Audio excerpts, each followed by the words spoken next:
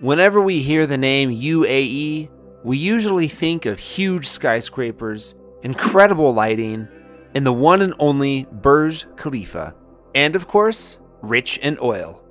But do you know that one of the most famous cities in the United Arab Emirates, Dubai's GDP from oil is less than 1% now?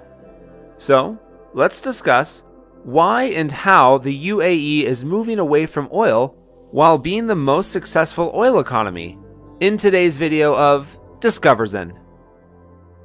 The United Arab Emirates is a sovereign state in Western Asia at the eastern end of the Arabian Peninsula. It borders Oman and Saudi Arabia and has maritime borders with the Persian Gulf and Qatar and Iran.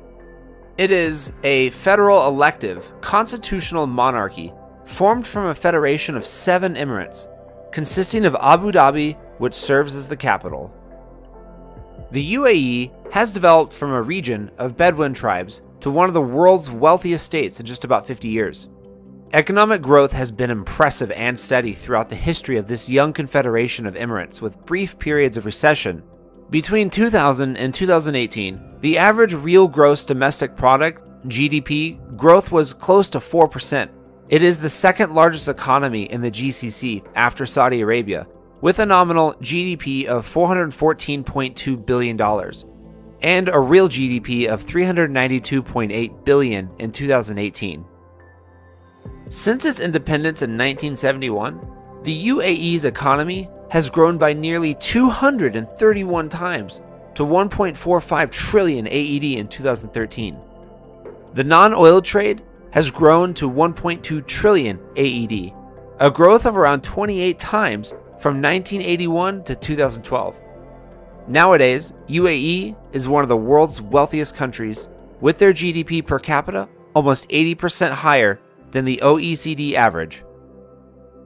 UAE has been actively investing its oil money into projects that would ensure the sustainability of its economy in the long run, even if oil demand eventually dies or runs out of oil.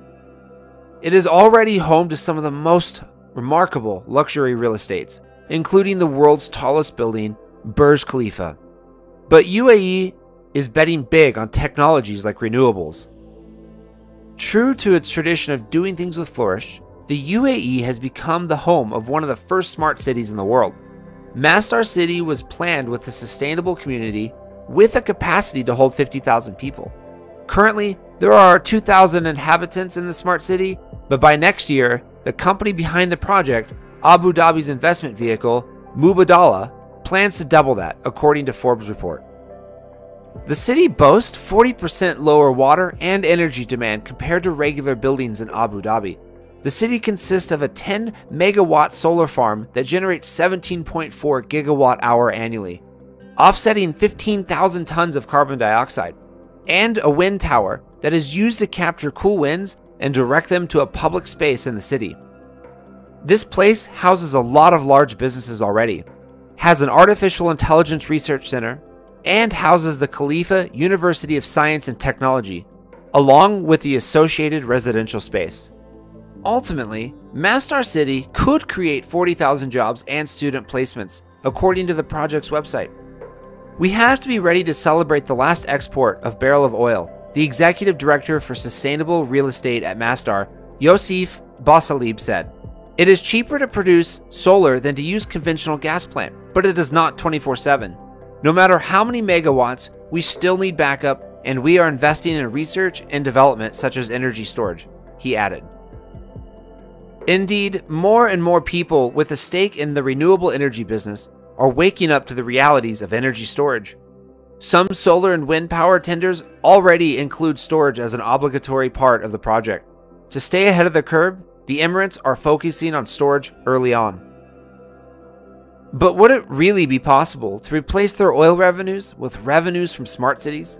OPEC data for 2018 says that the UAE pumped around 3 million barrels per day of oil and exported 2.3 million barrels per day, which was worth about $75 billion. Emirates government data from the previous year shows oil and gas exports accounted for almost 30% of the total GDP.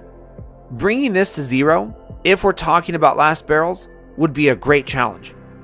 Yet it looks like the UAE is ready for it.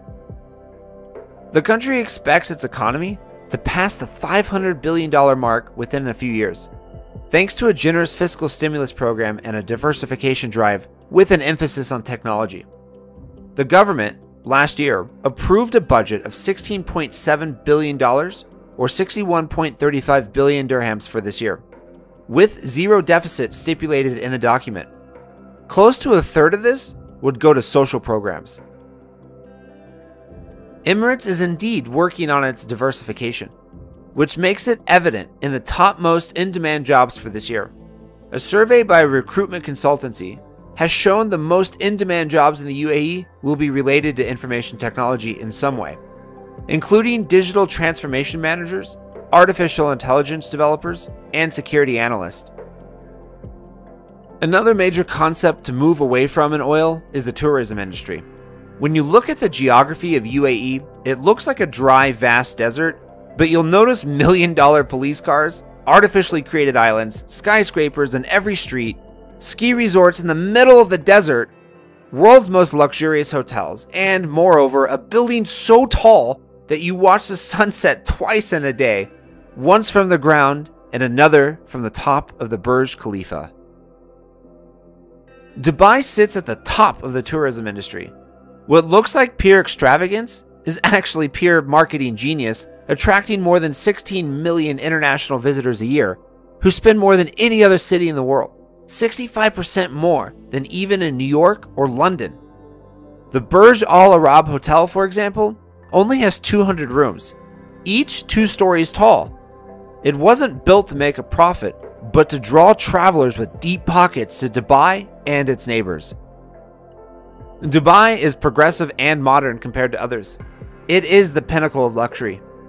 Yet many are enslaved living on next to nothing. Although, it's exceptional at how advanced it's become as a city in a freaking desert. Meanwhile, the growth in the UAE's non oil industries is seen to rise from 1.3% in 2018 to 1.6% in 2019 and 3% this year, according to the International Monetary Fund. Oil sector growth, on the other hand, will slow down. Indeed, it looks like the UAE is serious about moving away from oil.